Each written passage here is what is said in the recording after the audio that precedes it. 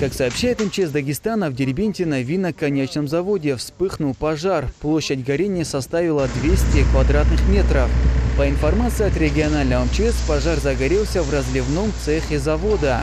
Сообщается, что к месту происшествия был направлен отряд пожарной бригады, и огонь удалось ликвидировать. Также по информации от МЧС известно, что жертв и пострадавших в результате пожара нет. В настоящее время на месте проводят разборку и проливку конструкции.